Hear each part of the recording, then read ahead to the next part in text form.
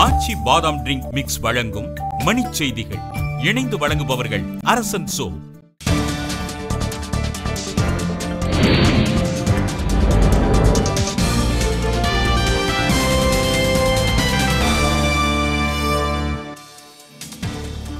வன்முறைகளுக்கு தமிழக அரசும் விடுதலை சிறுத்தைகளும் தான் காரணம் என மருத்துவர் ராமதாஸ் குற்றச்சாட்டு.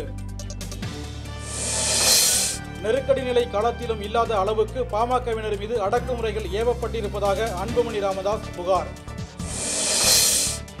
கர்நாடக தேர்தல் வெற்றி நாடாளுமன்ற தேர்தலிலும் எதிரொலிக்கும் என நடுவண் அமைச்சர் ஜி கே வாசன் நம்பிக்கை.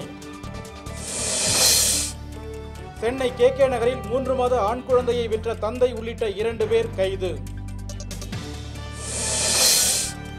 கும்மிடிப்பூண்டி அருகே இருப்பு பாதையை சரி செய்யும் எந்திரம் தடம் புரண்டதால் தொடர்வண்டி போக்குவரத்து பாதிப்பு.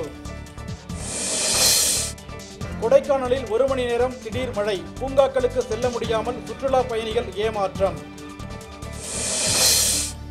சரப்ஜித் சிங் கொல்லப்பட்டதற்கு நடுவண் அரசுதான் பொறுப்பு என நினைவஞ்சலி கூட்டத்தில் பஞ்சாப் முதலமைச்சர் பாதல் புகார். பாகிஸ்தான் தேர்தலில் பதிவான வாக்குகளை எண்ணும் பணி தொடக்கம். பஞ்சாப் மாநிலம் சர்கோதா தொகுதியில் நவாஸ் ஷெரீப் முன்னிலை.